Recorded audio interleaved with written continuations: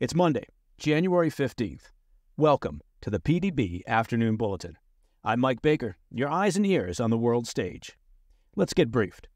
First, we'll look at the latest updates from the Korean Peninsula, which has seen another provocative ballistic missile test by Kim Jong un ahead of a diplomatic summit between North Korean leaders and Russia.